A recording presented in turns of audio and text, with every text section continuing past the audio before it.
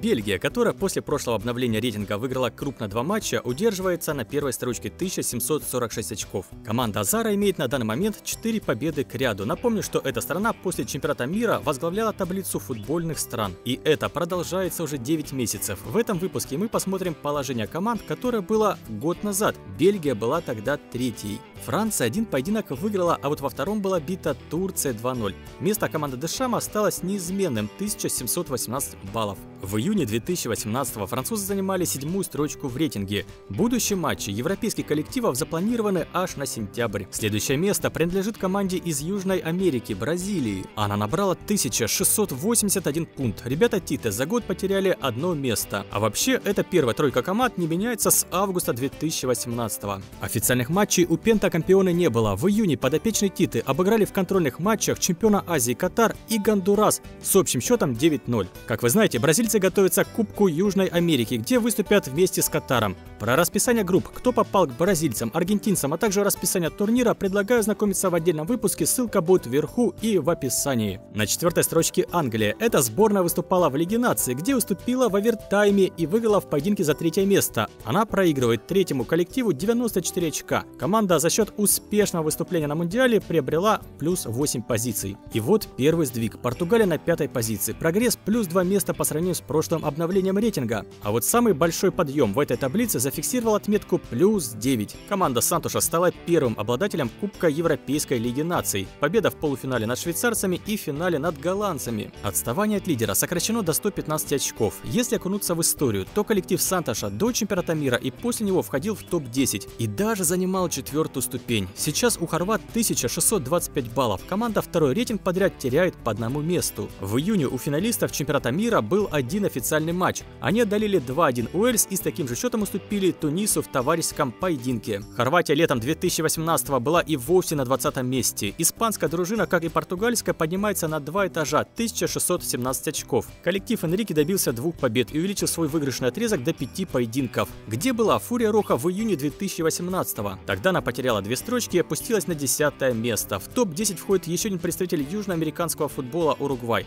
Команда восседает на восьмой ступеньке. Проигрывая Испании 2 очка, 1615 баллов. Уругвай потерял два места, но столь высокие позиции коллектив получил после чемпионата мира. До этого уругвайцы были и вовсе на 14 месте. У подопечных Оскара Табареса был только один матч в июне, да и то товарищеский. Панама была разбита 3-0. Следом расположилась Швейцария 1605 баллов, минус одно место. Сборная потерпела два поражения и оба в Лиге наций, оставшись без медалей. Эта страна давно входит в первую десятку сильнейших команд. В июне прошлого года они были на шестом месте. Дания продолжает удерживать десятую позицию. Она с апреля никуда не сдвигалась, зато за последний год приобрела плюс два места. В июне сборная, чья столица Копенгаген, добилась первой победы в 2019 году, а также сыграла в ничью в отборе на чемпионате Европы. Сборная Германии прогрессирует. Для фанатов хотелось бы больше и стремительного подъема, но пока что два этажа вверх. Команда отстает от Дании на 7 очков. Для тех же фанатов может защемить внутри, ведь год назад Бундестим был первой сборной в мировом рейтинге. Команда Юхима дважды победила. Хоть мы прошли уже первую десятку, дальше есть любопытные команды. Аргентина, чего добилась она? В двух товарищеских встречах были повержены Никарагуа и Марокко с общим счетом 6-1. С прошлого обновления таблицы коллеги Месси, который, кстати, оформил дубль ворота Никарагуа, никуда не перемещались. Зато за год их провал составил минус 6 мест. Так как у Германии и Аргентины равное количество очков, 1582, они делят вместе 11 ступеньку. Колумбия на 13 За год прогресс составил плюс 3 позиции. Команда также вскоре стартует на Копа Америка, который наш канал должен освещать. Два контрольных поединка с Перу и Панамой закончились со счетом 3-0 в пользу Фалькао и компании. Вот еще интересно, Италия поднялась на 3 строчки, 1569 очков. Команда Манчини держала две победы и имеет 8 матчей беспроигрышную серию. Напомню, что в 2018 году они были на 19 месте. Нидерланды, несмотря на поражение в финале Лиги наций, поднялись. Также в июне у них победа над англичанами в овертайме. Ситуация аналогична Аргентине и Германии. У итальянцев и голландцев равное количество баллов по 1569. За год команда Кумана поднялась с 17 места. Сборная Чили теряет одну позицию. Коллектив провел одну встречу с Гаити и выиграл 2-1. Чили будет выступать в одной группе с Японией, Уругваем и Эквадором. Тяжело же им будет на чемпионате Южной Америки. Летом 2018 года они восседали на девятой строчке. 17 место у Швеции, которая теряет сразу три ступени с апрельского рейтинга. А как вы хотели, проигрываешь, теряешь позиции. Скандинавы уступили крупно испанцам, а также победили Мальту. Но победа над аутсайдерами по новым правилам засчитывает к рейтингу мизерные очки. Спортивный выпустил уже не один обзор на таблицу футбольных стран и не раз упомянул о выдающемся подъеме Швеции. Допустим, год назад она была 24-й. Мексика, по-моему, приросла к 18 ступеньке. Сборную не пригласили на этот раз на Кубок Южной Америки. Зато через пару дней стартует Золотой Кубок Северной Америки. Подопечные Херардо Мартина в рамках подготовки к турниру провели два матча и оба выиграли у Эквадора и Венесуэлы. Сборная 7 своих последних матчей пересекалась только с южноамериканскими командами, уступив только Аргентине. Год назад мексиканцы были 15-ми. Польша, которая стремительно упала в последнее время, это было связано с неудачными выступлениями в Лиге наций, на этот раз приобрела одну позицию. 19 место и 1550 пунктов. В этом году сборная идет без потерь. За июнь обыграны Израиль и Северная Македония. Прошлым летом поляки входили в топ-10, где держались за восьмое место. Второй десяток закрывает Иран, который по-прежнему остается в таблице сильнейшей сборной Азии, 1518 очков. Отставание от Бельгии составляет 228 баллов. Команда с Кубка Азии 5 месяцев не играла. В июне они собрались и выиграли у Сирии и с Южной Кореи сыграли ничью. Год назад Иран был на 37 строчке.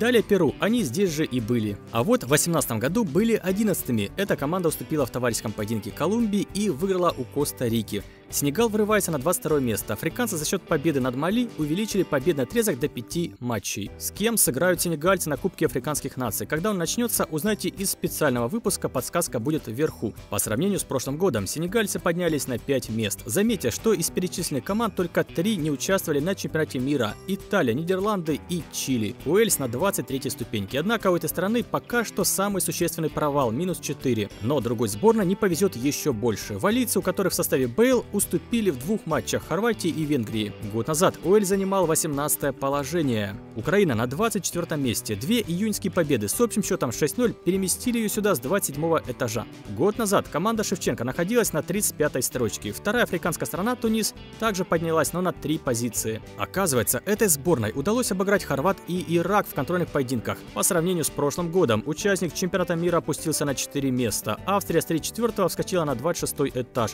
Плюс 8 вверх. Что произошло? Команда выиграла в отборе на Евро 2020 у Северной Македонии и Словении с общим счетом 5-1. Вы удивитесь, но сборная за год вернулась на свое 26 место. Следом идет Румыния, которая станет одним из организаторов чемпионата Европы 2020 года. Вчера был выпущен ролик на спортивном «Что нужно знать про турнир». Думаю, что некоторые вещи вас заинтересуют. Румыны в июне не проигрывали, однако два места в таблице утеряли. Почему? Здесь очень большая плотность. Разница составляет несколько очков, поэтому команды легко поднимаются и также легко опускаются. За год прогресс сборной Румынии составил плюс 3. Мало, но это лучше, чем топтаться на месте, верно? Северная Ирландия и Япония, набрав по 1496 очков, удерживают одно и то же место, 28 -е. Европейская команда, одержав две победы, поднялась на 5 мест, азиатская, выиграв и сыграв ничью, понизилась на 2 этажа. Еще год назад они даже и не что будут соседями. Северную Ирландию и Японию разделяло 32 строчки. Сборная США в товарищеских играх уступила Венесуэле и Ямайке, что привело к падению на 6 позиций вниз. Но опять-таки повторюсь, от Австрии их отделяет всего лишь 3 очка.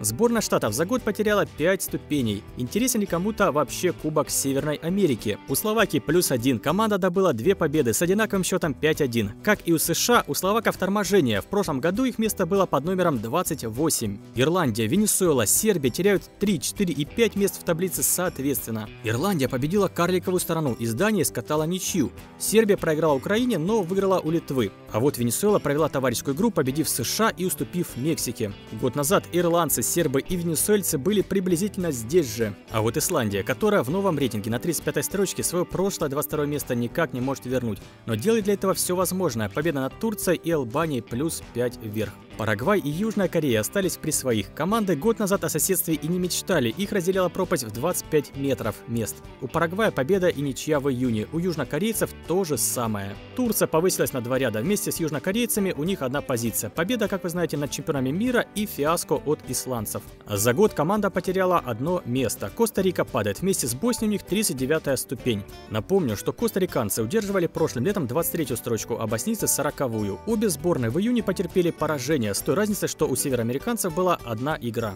Далее идут рекордсмены-передовики. Чехия поднялась сразу на 7 позиций, а вот их сосед Венгрия на 9. Венгры обыграли Уэльс, который в рейтинге их выше, а также Азербайджан. У Чехии было также два триумфа над черногорцами и болгарами. Чехия в 2018 была 46-й, а Венгрия 51-й. Австралия имеет 1436 очков. Команда была вынуждена опуститься на два ряда. 7 июня они провели встречу с Южной Кореей, которой уступили минимально. В прошлый раз Австралия занимала 36-ю ячейку. У сборной России две победы. Количество очков стало таким же, как и у австралийцев, что поставило их на один уровень в рейтинге. Прогресс команды Черчесова составил плюс 3, а за целый год плюс 27. У следующих двух команд Шотландии и Нигерии также одинаковое количество рейтинговых баллов, они соседствуют на 45 месте. Оба коллектива с апрельского обновления потеряли, европейцы выиграли и проиграли, а африканцы сыграли в ничью, имеют 8 поединков к ряду без поражений. Несмотря на столь низкое положение, Нигерия в Африке третья сборная. За год Нигерия поднялась на 3 ступеньки, а Скотланд потерял 3. И еще одна пара соседей Марокко и Норвегия на 47 месте. Отставание от лидера составляет 311 пунктов.